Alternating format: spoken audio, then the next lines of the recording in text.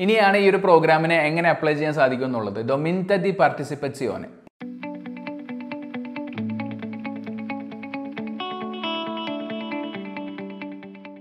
hello this is Jerin Francis welcome back to my YouTube channel കുറച്ച് നാളായിട്ട് എല്ലാവരുടെ ഉറക്കം കെടുത്തിയ ഇറ്റലിയുടെ മൊലീസെ പട്ടണത്തിന്റെ റെസിഡൻസ് പ്രോഗ്രാമിനെ പറ്റിയിട്ടാണ് ഇന്നത്തെ വീഡിയോയിൽ നമ്മൾ ഡിസ്കസ് ചെയ്യാൻ പോകുന്നത്. പലരും സോഷ്യൽ മീഡിയയിലൂടെയും യൂട്യൂബിലൂടെയും പല ന്യൂസ് ചാനലിലൂടെയൊക്കെ കേട്ടിട്ടുണ്ടാവും. ഇറ്റലിയുടെ മൊലീസെ പട്ടണത്തിൽ താമസിക്കാൻ വരുന്ന വ്യക്തികൾക്ക് പത്തൊമ്പത് ലക്ഷം രൂപയും മാസം തോറും അമ്പത്തയ്യായിരം രൂപയും വെച്ചിട്ട് ഇറ്റാലിയൻ ഗവൺമെന്റ് കൊടുക്കാൻ പോകുന്നു എന്നുള്ളത്. എന്താണ് ഇതിന്റെ സത്യാവസ്ഥ? എങ്ങനെയാണ് ഈ ഒരു പ്രോഗ്രാമിന് അപ്ലൈ ചെയ്യുന്നത്?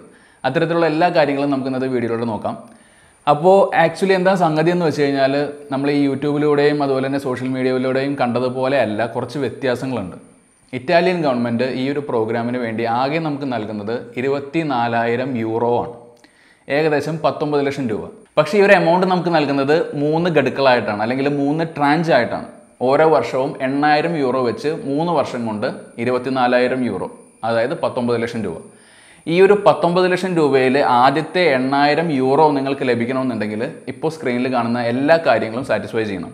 അതായത് നിങ്ങൾ തുടങ്ങാൻ ഉദ്ദേശിക്കുന്ന ബിസിനസ് എവിടെയാണ് അതിന്റെ ബിസിനസ്സിന് നിങ്ങൾ എടുത്തിട്ടുള്ള സ്ഥലത്തിന്റെ റെന്റൽ എഗ്രിമെന്റ് അതുപോലെ തന്നെ പല ഡീറ്റെയിൽസുകളും സർട്ടിഫിക്കറ്റുകളും അങ്ങനെ ഒരുപാട് ഡോക്യുമെന്റ്സുകൾ സബ്മിറ്റ് ചെയ്യുമ്പോൾ മാത്രമാണ് ആദ്യത്തെ എണ്ണായിരം യൂറോ നിങ്ങൾക്ക് നൽകുന്നത്. അതിനുശേഷം ഓരോ വർഷവും മാസം തോറും അറുന്നൂറ്റി അറുപത്താറ് പോയിന്റ് ആറ് ആറ് യൂറോ വെച്ചിട്ട് അതായത് ഏകദേശം ഒരു അമ്പതിനായിരം രൂപ അമ്പത്തിരണ്ടായിരം രൂപ വെച്ച് നമുക്ക് ലഭിക്കും. ഇങ്ങനെയാണ് ഈ ഒരു പ്രോഗ്രാം മൂന്ന് വർഷം വരെ പോകുന്നത്. പക്ഷേ മീഡിയകൾ ഇത് പുറത്തു വിട്ട് കഴിഞ്ഞപ്പോൾ ആദ്യം തന്നെ പത്തൊമ്പത് ലക്ഷം രൂപയെന്നും അതിനുശേഷം അമ്പത്തയ്യായിരം രൂപ വെച്ച് നമുക്ക് മാസം തോറും മൂന്ന് വർഷത്തേക്കും ലഭിക്കുമെന്നായി. എന്നാൽ നിങ്ങൾക്ക് ഇപ്പോൾ സ്ക്രീനിൽ കാണുന്നത് പോലെ തന്നെ ഈ ഒരു പ്രോഗ്രാമിന് ഇറ്റാലിയൻ ഗവൺമെന്റ് ഒരു വ്യക്തിക്ക് നൽകുന്നത് ആകെ ഇരുപത്തിനാലായിരം യൂറോ മാത്രമാണ്. ഇനി എന്തൊക്കെയാണ് ഈ ഒരു പ്രോഗ്രാമിന് അപ്ലൈ ചെയ്യാൻ വേണ്ട റിക്വയർമെന്റുകൾ നോക്കാം. വളരെ സിമ്പിളാണ് അതിൽ ഒന്നാമത്തെ പോയിന്റ് എന്ന് പറയുന്നത് നമ്മളൊരു മൈനർ ആവാൻ പാടില്ല. അതായത് പതിനെട്ട് വയസ്സിന് മുകളിലായിരിക്കണം. രണ്ടാമത്തെ പോയിന്റ് എന്ന് പറയുന്നത് തൊണ്ണൂറ് ദിവസത്തിനകം നമ്മളുടെ റെസിഡൻസ് ഇപ്പോൾ എവിടെയാണോ താമസിക്കുന്നത് അവിടെ നിന്ന് ഇറ്റലിയിലേക്ക് മാറ്റാനായിട്ട് നമ്മളെ കൊണ്ട് സാധിക്കണം. അതായത് വേറെ ബാധ്യതകളൊന്നും ഇല്ലാതെ തന്നെ കറക്റ്റായിട്ട് ഈ ഒരു പ്രൊസീജിയർ തൊണ്ണൂറ് ദിവസത്തിനുള്ളിൽ കംപ്ലീറ്റ് ചെയ്യാനായിട്ട് നമുക്ക് സാധിക്കണം. ഇനി മൂന്നാമത്തെ പോയിന്റ് രണ്ടായിരം ആൾക്കാരിൽ കൂടുതൽ ജനസംഖ്യയുള്ള ഒരു മുനിസിപ്പാലിറ്റിയിൽ താമസിക്കുന്ന ഇറ്റാലിയൻ വ്യക്തിയോ അല്ലെന്നുണ്ടെങ്കിൽ നാലാമത്തെ പോയിന്റായ വേറെ ഏതെങ്കിലും ഒരു കൺട്രിയിൽ നിന്നുള്ള വ്യക്തിയോ ആയിരിക്കണം. ഈ ഒരു ഗ്രീൻ കളറിൽ കൊടുത്തിട്ടുള്ള ഒരേ ഒരു വാചകം കൊണ്ട് മാത്രമാണ് നമ്മൾക്ക് ഇന്ത്യക്കാർക്കും ഈ ഒരു പ്രോഗ്രാമിന് അപ്ലൈ ചെയ്യാൻ സാധിക്കുമെന്ന് നമ്മൾ വിശ്വസിക്കുന്നത്. അല്ലാത്ത പക്ഷം ഇറ്റാലിയൻ ഗവൺമെന്റിന് വേണമെങ്കിൽ കൊടുക്കായിരുന്നു. From any other country in European Union അതല്ലാന്നുണ്ടെങ്കിൽ ഈ ഒരു പ്രോഗ്രാമിന് പാർട്ടിസിപ്പേറ്റ് ചെയ്യാൻ സാധിക്കുന്ന കുറച്ച് കൺട്രികളുടെ ലിസ്റ്റ് അവർക്ക് കൊടുക്കായിരുന്നു. പക്ഷേ ഫ്രം എനി അതർ കൺട്രി എന്ന് കൊടുത്തിട്ടുള്ളത് കൊണ്ട് തന്നെ നമ്മൾക്കും ഈ ഒരു പ്രോഗ്രാമിന് അപ്ലൈ ചെയ്യാൻ സാധിക്കുമെന്ന് നമുക്ക് വിശ്വസിക്കാം. ഇനി ഈ ഒരു പ്രോഗ്രാമിന് പാർട്ടിസിപ്പേറ്റ് ചെയ്യാനായിട്ട് നമ്മൾക്ക് മൊലീസയിലുള്ള ഏതെങ്കിലും ഒരു മുനിസിപ്പാലിറ്റി ചൂസ് ചെയ്യണം. ആ ഒരു മുനിസിപ്പാലിറ്റിയിലായിരിക്കും നമ്മൾ ജീവിക്കാൻ പോകുന്നതും അതുപോലെ തന്നെ ബിസിനസ് റൺ ചെയ്യാൻ പോകുന്നതും. ഇപ്പോൾ നിങ്ങൾ സ്ക്രീനിൽ കാണുന്നതാണ് നിങ്ങൾക്ക് അപ്ലൈ ചെയ്യാൻ സാധിക്കുന്ന മുനിസിപ്പാലിറ്റിയും ആ മുനിസിപ്പാലിറ്റിയിലെ ജനസംഖ്യയും. സാധിക്കുമെങ്കിൽ ഈ ഒരു മുനിസിപ്പാലിറ്റിയുടെ ലിസ്റ്റിന്റെ ഒരു സ്ക്രീൻഷോട്ട് എടുത്ത് വയ്ക്കുക അതല്ലാന്നുണ്ടെങ്കിൽ ഒന്ന് നോട്ട് ചെയ്ത് വയ്ക്കുക കാരണം നമ്മൾ ആപ്ലിക്കേഷൻ സബ്മിറ്റ് ചെയ്യാൻ നേരത്ത് നമ്മൾ ഏത് മുനിസിപ്പാലിറ്റിയിലാണ് ജീവിക്കാൻ പോകുന്നത് അല്ലെന്നുണ്ടെങ്കിൽ ബിസിനസ് റൺ ചെയ്യാൻ പോകുന്നത് എന്നുള്ളത് നമ്മൾ ഡിക്ലെയർ ചെയ്യേണ്ടതായിട്ട് വരും. ആപ്ലിക്കേഷൻ സബ്മിറ്റ് ചെയ്യുന്ന സമയത്ത് നിങ്ങളുടെ ഒരു ഐ ഡി പ്രൂഫിന്റെ കോപ്പിയും സി വിയും അതുപോലെ തന്നെ നിങ്ങൾ തുടങ്ങാൻ ഉദ്ദേശിക്കുന്ന ബിസിനസ്സിന്റെ ഒരു ഡീറ്റെയിൽഡ് ബിസിനസ് പ്രൊപ്പോസലും അതിന്റെ കൂടെ വെക്കണം. അപ്പോൾ ഇത്തരത്തിലൊരു ഓപ്പൺ പ്രൊപ്പോസൽ ആയതുകൊണ്ട് തന്നെ പല വിദേശ രാജ്യങ്ങളിൽ നിന്നും ലക്ഷക്കണക്കിന് ആപ്ലിക്കേഷനുകൾ ഈ ഒരു പ്രോഗ്രാമിന് വേണ്ടി വരും. അപ്പോൾ ഇതിൽ നിന്ന് ഇറ്റാലിയൻ ഗവൺമെന്റ് ഉചിതമായിട്ടുള്ള ആപ്ലിക്കേഷൻ സെലക്ട് ചെയ്യാൻ വേണ്ടിയിട്ട് ഒരു സെലക്ഷൻ കമ്മിറ്റിയെ അപ്പോയിന്റ് ചെയ്തിട്ടുണ്ട്. ഈ ഒരു സെലക്ഷൻ കമ്മിറ്റി നിങ്ങൾ അയക്കുന്ന ആപ്ലിക്കേഷനുകൾക്ക് മാർക്ക് നിശ്ചയിക്കും. ടോട്ടൽ നൂറ് മാർക്കാണ് അതിലൊരു അറുപത് മാർക്കെങ്കിലും ലഭിച്ചാൽ മാത്രമേ നിങ്ങൾ ഈ ഒരു പ്രോഗ്രാമിന് ക്വാളിഫൈഡ് ആവുള്ളൂ. ഇനി എങ്ങനെയാണ് ഈ ഒരു മാർക്ക് ലഭിക്കുന്നതെന്ന് നോക്കാം. അതിന് ഒന്നാമത്തെ പോയിന്റ് നിങ്ങൾ സെലക്ട് ചെയ്തിരിക്കുന്ന ഈ ഒരു മുനിസിപ്പാലിറ്റിയിൽ നിങ്ങൾ തുടങ്ങാൻ ഉദ്ദേശിക്കുന്ന ബിസിനസ്സിന്റെ കൺസിസ്റ്റൻസി എന്താണ്?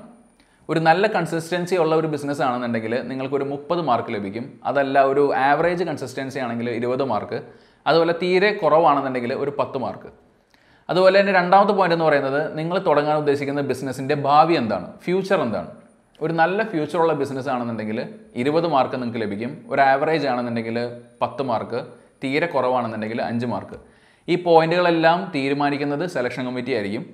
ഇനി മൂന്നാമത്തെ ഒരു പോയിന്റ് എന്ന് പറയുന്നത് നിങ്ങൾക്ക് എത്ര പെട്ടെന്ന് ഈ ഒരു ബിസിനസ് ഇറ്റലിയിൽ സ്റ്റാർട്ട് ചെയ്യാനായിട്ട് പറ്റും? ഇമ്മീഡിയറ്റ് ആയിട്ട് നിങ്ങൾക്ക് സ്റ്റാർട്ട് ചെയ്യാൻ പറ്റുന്നുണ്ടെങ്കിൽ പത്ത് മാർക്ക് ലഭിക്കും. അതല്ല ഒരു ഒരു മാസം തുടങ്ങി ആറ് മാസം വരെ സമയം എടുക്കുന്നുണ്ടെങ്കിൽ അഞ്ച് മാർക്ക് ആറ് മാസത്തിൽ കൂടുതൽ സമയം എടുക്കുന്നുണ്ടെങ്കിൽ മാർക്കൊന്നുമില്ല. ഇനി അടുത്തൊരു പോയിന്റ് എന്ന് പറയുന്നത് ഈ ഒരു ബിസിനസ്സിൽ എത്ര പേര് ഇൻവോൾവ് ആവുന്നുണ്ട്? ഒന്ന് തുടങ്ങി രണ്ട് പേര് വരെയാണെന്നുണ്ടെങ്കിൽ അഞ്ച് പോയിന്റ് ലഭിക്കും. മൂന്ന് തുടങ്ങി അഞ്ച് പേര് വരെ ഇൻവോൾവ് ആവുന്നുണ്ടെങ്കിൽ പത്ത് പോയിന്റ് അഞ്ചിൽ കൂടുതലാണെന്നുണ്ടെങ്കിൽ ഇരുപത് പോയിന്റ് ഇനി നിങ്ങൾ തുടങ്ങാൻ ഉദ്ദേശിക്കുന്ന ബിസിനസ് ഏതെങ്കിലും ഒരു പഴയ ബിൽഡിംഗ് റിനോവേറ്റ് ചെയ്തിട്ടാണ് നിങ്ങൾ തുടങ്ങുന്നതെന്നുണ്ടെങ്കിൽ ഇരുപത് പോയിന്റോളം നിങ്ങൾക്ക് ലഭിക്കും. അപ്പോൾ അത്തരത്തിൽ നിങ്ങൾക്ക് എത്ര പോയിന്റ് ലഭിക്കുന്നു നോക്കിയിട്ടാണ് ഒരു ഇൻവിറ്റേഷൻ നൽകുന്നത്. ഇനി ഒരുപാട് വ്യക്തികൾക്ക് ഒരേ പോയിന്റ് ആണെന്നുണ്ടെങ്കിൽ സപ്പോസ് ഒരുപാട് വ്യക്തികൾക്ക് തൊണ്ണൂറ് മാർക്ക് ലഭിക്കുകയാണെന്നുണ്ടെങ്കിൽ ഇവിടെ ഒരു tie breaker rule Italian government apply ചെയ്യും. അതായത് നിങ്ങൾ തുടങ്ങാൻ ഉദ്ദേശിക്കുന്ന ബിസിനസ്സിന്റെ ടോട്ടൽ ഇൻവെസ്റ്റ്മെന്റ് എത്രയാണ്? നിങ്ങൾക്ക് എത്ര ഡിപ്പെൻഡന്റ് ചിൽഡ്രൻസ് ഉണ്ട്? അതുപോലെ തന്നെ നിങ്ങളുടെ പ്രായം എത്രയാണ്? ഇതിനെ ബേസ് ചെയ്തിട്ടും നിങ്ങളുടെ പോയിന്റിനെ അവർ കാൽക്കുലേറ്റ് ചെയ്യും. ഇനി അടുത്തതാണ് ഈ ഒരു പ്രോഗ്രാമിന് എങ്ങനെ അപ്ലൈ ചെയ്യണം എന്നുള്ളത്. ഡൊമാൻത ദി പാർട്ടിസിപ്പറ്റ്സിയോനെ ആപ്ലിക്കേഷൻ ഫോം ഈ ഒരു ആപ്ലിക്കേഷൻ ഫോം എന്റയർലി ഇറ്റാലിയനിലാണ് അതുകൊണ്ട് തന്നെ നിങ്ങളിപ്പോൾ അപ്ലൈ ചെയ്യാൻ നോക്കിക്കഴിഞ്ഞാൽ ചിലപ്പോൾ ഫില്ല് ചെയ്യാനായിട്ട് കുറച്ച് ബുദ്ധിമുട്ട് വരും. അതുകൊണ്ട് ഞാനൊരു സാമ്പിൾ കാണിക്കാം. ഈ ഒരു സാമ്പിളിൽ എങ്ങനെയാണ് എന്തൊക്കെ കാര്യങ്ങളാണ് ഫില്ല് ചെയ്യേണ്ടതെന്നുള്ളതിന്റെ ഹിൻഡ് ഞാൻ കൊടുത്തിട്ടുണ്ട്. ഇപ്പോൾ നിങ്ങൾക്ക് സ്ക്രീനിൽ കാണുന്നതാണ് ഈ ഒരു ആപ്ലിക്കേഷന്റെ ഫസ്റ്റ് പേജ് ടോട്ടൽ രണ്ട് പേജാണുള്ളത് ഇതിന്റെ ആദ്യത്തെ പേജിൽ ആദ്യത്തെ കാര്യം എന്ന് പറയുന്നത് നമ്മളുടെ പേരാണ്. നമ്മളുടെ പേര് പാസ്പോർട്ടിൽ എന്താണ് കൊടുത്തിട്ടുള്ളത് അതേ രീതിയിൽ തന്നെ കൊടുക്കുക. രണ്ടാമത്തേത് നമ്മളുടെ ബർത്ത് ഇയർ നമ്മൾ ഏത് വർഷമാണോ ജനിച്ചിട്ടുള്ളത് ആ ഒരു ബർത്ത് ഇയർ കൊടുക്കുക. അതിനുശേഷം മൂന്നാമത്തെ പോയിന്റ് എന്ന് പറയുന്നത് മന്ത് അടുത്തതാണ് കൊഡീച്ചെ ഫിസ്കാലെ ഇതൊരു Italian social security cum tax നമ്പറാണ് ആക്ച്വലി നമ്മൾക്ക് ഇത് ബാധകമല്ല. ഇറ്റാലിയൻസിന് ഇത്തരത്തിലൊരു നമ്പർ ഉണ്ട്. ആ നമ്പറാണ് അവരോട് ചോദിക്കുന്നത്. അടുത്തൊരു പോയിന്റ് എന്ന് പറയുന്നത് റെസിഡന്റോ നമ്മൾ ഏത് കൺട്രിയിലാണ് റിസൈഡ് ചെയ്യുന്നത്? വിയ എന്ന് പറയുന്നത് നമ്മളുടെ പോസ്റ്റൽ അഡ്രസ്സ് നിങ്ങളുടെ ഇപ്പോഴത്തെ പോസ്റ്റൽ അഡ്രസ്സ് ഡീറ്റെയിൽ ആയിട്ട് കൊടുക്കുക. അതിനുശേഷം അടുത്തൊരു ഫീൽഡ് എന്ന് പറയുന്നത് ടെലിഫോൺ നിങ്ങൾക്ക് എല്ലാവർക്കും അറിയാം. ടെലിഫോൺ നമ്പർ അല്ലെന്നുണ്ടെങ്കിൽ നിങ്ങളുടെ മൊബൈൽ നമ്പർ പിന്നീട് ലാസ്റ്റ് വരുന്ന ഒരു കാര്യമാണ് പി ഇ സി പോസ്റ്റ ഇലക്ട്രോണിക്ക സർട്ടിഫിക്കറ്റ് ഇത് ഒരു രജിസ്ട്രേഡ് ഇമെയിൽ അഡ്രസ്സ് ആണ്. സാധാരണ നമ്മൾക്ക് എല്ലാവർക്കും ജിമെയിൽ അല്ലെന്നുണ്ടെങ്കിൽ യാഹു മെയിൽ റെഡിഫ് മെയിലുള്ള മെയിലുകളാണ് യൂസ് ചെയ്യുന്നത്. പക്ഷേ ഇറ്റലിയിൽ രജിസ്ട്രേഡ് ഇമെയിലാണ് പല ബിസിനസ്സിന് വേണ്ടിയിട്ടും അവർ ഉപയോഗിക്കുന്നത്. അപ്പോൾ അത്തരത്തിലൊരു ഇമെയിൽ അഡ്രസ്സ് നമുക്കില്ല എന്നുള്ളത് എനിക്കറിയാം. അതുകൊണ്ട് തന്നെ നിങ്ങളുടെ ഇപ്പോഴത്തെ ഇമെയിൽ അഡ്രസ്സ് എന്താണോ ആ ഒരു ഇമെയിൽ അഡ്രസ്സ് കൊടുക്കുക. അതിനുശേഷം താഴെ രണ്ട് കാര്യങ്ങൾ ഞാൻ റെഡ് ലെറ്റേഴ്സിൽ കൊടുത്തിട്ടുണ്ട്. നിങ്ങൾ രണ്ടായിരം ആൾക്കാരിൽ കൂടുതൽ ജനസംഖ്യയുള്ള മുനിസിപ്പാലിറ്റിയിൽ താമസിക്കുന്ന ഒരു ഇറ്റാലിയൻ ആണെന്നുണ്ടെങ്കിൽ ആ ഒരു മുനിസിപ്പാലിറ്റിയുടെ പേര് ആദ്യത്തെ ആ ഒരു ഫീൽഡിൽ കൊടുക്കുക. നമ്മളപ്പോൾ എന്തായാലും ഇറ്റലിയിലുള്ള ആൾക്കാരല്ല. അതുകൊണ്ട് നമ്മളുടെ ഇപ്പോഴത്തെ മുനിസിപ്പാലിറ്റിയുടെ പേര് തന്നെ അവിടെ കൊടുക്കേണ്ടതായിട്ട് വരും. രണ്ടാമത്തെ കാര്യം കൺട്രി ഓഫ് ഒറിജിൻ നമ്മളുടെ ജന്മദേശം ഏതാണ്? ഇന്ത്യ. ഇനി അടുത്തതാണ് രണ്ടാമത്തെ പേജ്. രണ്ടാമത്തെ പേജിൽ അധികം നമുക്ക് ഫില്ല് ചെയ്യേണ്ട കാര്യങ്ങളൊന്നുമില്ല. Place and date then signature ഇനി ഒരു ആപ്ലിക്കേഷന്റെ കൂടെ തന്നെ ഞാൻ നേരത്തെ പറഞ്ഞു നിങ്ങളുടെ ഒരു ഐ ഡി പ്രൂഫിന്റെ കോപ്പി അതുപോലെ തന്നെ സി വി പിന്നെ ഒരു ബിസിനസ് പ്രൊപ്പോസൽ ബിസിനസ് പ്രൊപ്പോസൽ എങ്ങനെയാണ് എഴുതേണ്ടത് എന്നുള്ളത് പലർക്കും അറിയാൻ ചാൻസ് ഇല്ല. അതുകൊണ്ട് തന്നെ നിങ്ങളുടെ നാട്ടിലുള്ള ഏതെങ്കിലും ഒരു ബിസിനസ് നടത്തുന്ന വ്യക്തിയായിട്ട് സംസാരിക്കുക ആ ഒരു വ്യക്തിയുടെ സഹായത്തോടെ ഒരു ബിസിനസ് പ്രൊപ്പോസൽ എഴുതുക. കാരണം ഒരു ബിസിനസ് പ്രൊപ്പോസലിൽ ഒരുപാട് ഡീറ്റെയിലുകൾ ഉണ്ടാവും. നിങ്ങൾ എന്താണ് തുടങ്ങാൻ പോകുന്നത് എത്ര പേർക്കാണ് ജോലി കൊടുക്കാൻ പോകുന്നത് എങ്ങനെയാണ് നിങ്ങൾ അതിന്റെ പ്രോഫിറ്റ് കാൽക്കുലേറ്റ് ചെയ്യുന്നത് അതിന്റെ ബിസിനസ്സിന്റെ സ്റ്റെപ്പുകൾ എന്തൊക്കെയാണ് എത്ര വർഷത്തിനുള്ളിൽ നിങ്ങൾ പ്രോഫിറ്റബിൾ ആവും അത്തരത്തിലുള്ള ഒരുപാട് കാര്യങ്ങൾ ആ ഒരു ബിസിനസ് പ്രൊപ്പോസലിൽ ഉണ്ടാവും. ഒരു വലിയ ഫോർമാറ്റ് ആയിരിക്കും ചിലപ്പോൾ പി ഡി എഫിലായിരിക്കും അല്ലെങ്കിൽ പ്രസന്റേഷൻ ആയിരിക്കും. അതെങ്ങനെയാണ് ക്രിയേറ്റ് ചെയ്യേണ്ടതെന്നുള്ളത് നിങ്ങൾ വേറൊരു വ്യക്തിയുടെ സഹായത്തോടെ ക്രിയേറ്റ് ചെയ്യാനായിട്ട് ശ്രമിക്കുക. അപ്പോൾ ഈ രീതിയിൽ ഫിൽ ചെയ്ത ആപ്ലിക്കേഷനും ഞാൻ ഈ പറഞ്ഞ ഡീറ്റെയിൽസ് എല്ലാം കൂടെ മുപ്പത് പതിനൊന്ന് രണ്ടായിരത്തി പത്തൊമ്പതിന് മുമ്പ് ഇപ്പോൾ സ്ക്രീനിൽ കാണുന്ന ഈ ഇമെയിൽ ഐ ഡിയിലേക്ക് ഫോർവേഡ് ചെയ്യുക. ഇനി ഇതിന് കുറച്ച് ഡ്രോബാക്കുകൾ ഉണ്ട്. അതെന്തൊക്കെയാണെന്നുള്ളത് ഞാൻ പറയാം. ഒന്നാമത്തെ കാര്യം നിങ്ങൾക്ക് നൽകുന്ന ഈ ഒരു എമൗണ്ട് എന്ന് പറയുന്നത് ഒരു ദാനമല്ല. ഇതൊരു ലോൺ പോലെയാണ്. ഇതെപ്പോൾ ലോൺ ആവുന്നു എന്ന് വെച്ച് കഴിഞ്ഞാൽ നിങ്ങൾ തുടങ്ങാൻ ഉദ്ദേശിക്കുന്ന ബിസിനസ് നിങ്ങൾ പ്രൊപ്പോസ് ചെയ്ത പോലെ അല്ല അല്ലെങ്കിൽ നിങ്ങൾ ഇറ്റാലിയൻ ഗവൺമെന്റിനെ ചീറ്റ് ചെയ്യുകയാണെങ്കിൽ നിങ്ങൾക്ക് നൽകിയിട്ടുള്ള ഈ ഒരു എമൗണ്ട് വിത്ത് ഇൻട്രസ്റ്റ് പതിനഞ്ച് ദിവസത്തിനകം നിങ്ങൾ തിരിച്ചടക്കേണ്ടതായിട്ട് വരും. അപ്പോൾ അങ്ങനെ നോക്കുമ്പോൾ അതൊരു ലോണായിട്ട് മാറും. അതല്ല നിങ്ങൾ പ്രോപ്പറായിട്ട് ഒരു നല്ല രീതിയിൽ ബിസിനസ് നടത്തി ആ ഒരു രാജ്യത്ത് ജീവിക്കാനായിട്ട് ആഗ്രഹിക്കുകയാണെങ്കിൽ ഒരു കുഴപ്പമില്ല പിന്നെ രണ്ടാമത്തെ ഒരു പോയിന്റ് എന്ന് പറയുന്നത് ടോട്ടൽ ഒരു അഞ്ച് വർഷമെങ്കിലും നിങ്ങൾ സെലക്ട് ചെയ്തിട്ടുള്ള ഈ ഒരു മുനിസിപ്പാലിറ്റിയിൽ ജീവിക്കേണ്ടതായിട്ട് വരും.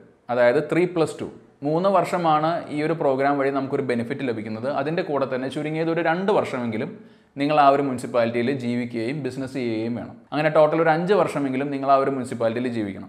പിന്നീട് വേറൊരു ഡ്രോബാക്ക് എന്ന് പറയുന്നത് നമ്മൾ ന്യൂസിലൊക്കെ കണ്ടതുപോലെ ഈ ഒരു മൊളീസയിൽ വന്ന് താമസിക്കാൻ വേണ്ടിയല്ല പത്തൊമ്പത് ലക്ഷം രൂപ ഇറ്റാലിയൻ ഗവൺമെന്റ് നമുക്ക് നൽകുന്നത്. ഒരു ബിസിനസ് ചെയ്യാൻ വേണ്ടിയാണ്. അപ്പോൾ നമ്മൾക്ക് അവിടെ ഒരു ബിസിനസ് റൺ ചെയ്യാൻ പറ്റുന്നില്ല എന്നുണ്ടെങ്കിൽ ഈ ഒരു ബെനിഫിറ്റ് നമുക്ക് ലഭിക്കില്ല. അതല്ല നമ്മൾക്കൊരു ബിസിനസ് പ്രോപ്പറായിട്ട് റൺ ചെയ്യാൻ പറ്റുന്നില്ല. നമ്മൾ കറക്റ്റായിട്ടല്ല ബിസിനസ് റൺ ചെയ്യുന്നത് നമുക്ക് പ്രോഫിറ്റ് ഏൺ ചെയ്യാൻ പറ്റുന്നില്ല എന്നുണ്ടെങ്കിൽ ചിലപ്പോൾ ഈ തന്ന എമൗണ്ട് തിരിച്ചു കൊടുക്കേണ്ടതായിട്ടും വരും. ഇനി ഇതിന്റെ വേറൊരു നെഗറ്റീവ് പോയിന്റ് എന്ന് പറയുന്നത് ഇറ്റാലിയൻസിന് ഈ ഒരു പ്രോഗ്രാമിനെ പറ്റിയിട്ട് രണ്ട് അഭിപ്രായമാണുള്ളത്. ചിലർ പറയുന്നത് ഈ ഒരു പ്രോഗ്രാം അത്ര സക്സസ് ആവാനായിട്ട് ചാൻസ് ഇല്ല. കാരണം ഇറ്റലിയിൽ ഇപ്പോൾ തന്നെ പത്ത് ലക്ഷത്തിന് മേലെ റെഫ്യൂജികളുണ്ട് അവർക്കൊരു സെറ്റിൽമെന്റ് കൊടുക്കാനായിട്ട് ഇറ്റാലിയൻ ഗവൺമെന്റിന് ഇതുവരെ സാധിച്ചിട്ടില്ല. അപ്പോൾ അങ്ങനെ ഒരു സിറ്റുവേഷൻ നിൽക്കുമ്പോൾ വിദേശത്ത് നിന്ന് ഇനിയും വ്യക്തികൾ ഇറ്റലിയിലേക്ക് കൊണ്ടുവരുന്നത് ശരിയാവില്ല എന്നുള്ളതാണ് അവരുടെ ഒരു അഭിപ്രായം. അപ്പോൾ എന്തൊക്കെയായാലും നമ്മൾക്ക് ഈ ഒരു പ്രോഗ്രാമിന് അപ്ലൈ ചെയ്യാൻ സാധിക്കുകയാണെങ്കിൽ അത് വളരെ നല്ലൊരു കാര്യം. ഇത്തരത്തിലൊരു ബിസിനസ് തുടങ്ങാനായിട്ട് ആഗ്രഹിച്ച് നിൽക്കുന്ന വ്യക്തികളാണെങ്കിൽ എന്തായാലും ഈ ഒരു പ്രോഗ്രാം ചൂസ് ചെയ്യുക. അപ്പോൾ നിങ്ങൾക്ക് ഈ ഒരു വീഡിയോ ഇഷ്ടപ്പെട്ട് കാണുന്ന കരുതുന്നു. ഇഷ്ടപ്പെട്ടുണ്ടെങ്കിൽ തീർച്ചയായിട്ടും വീഡിയോ ലൈക്ക് ചെയ്യുക. അതുപോലെ തന്നെ ഇത്തരത്തിലുള്ള വീഡിയോസ് നിങ്ങൾക്ക് ഫ്യൂച്ചറിൽ കാണാൻ ആഗ്രഹമുണ്ടെങ്കിൽ ചാനൽ സബ്സ്ക്രൈബ് ചെയ്യുന്ന സമയത്ത് ബെൽ ബട്ടൺ കൂടെ എനേബിൾ ചെയ്യാനായിട്ട് ശ്രമിക്കുക.